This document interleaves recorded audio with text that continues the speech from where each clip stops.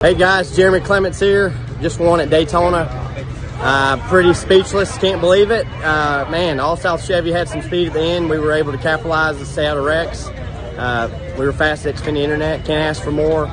Gonna enjoy some cold beers, celebrate with my people back there. Uh, man, uh, incredible. Small team and big, big, huge win for us. We're in the playoffs and we're gonna make the most of it. Thank you guys for uh, watching and supporting us.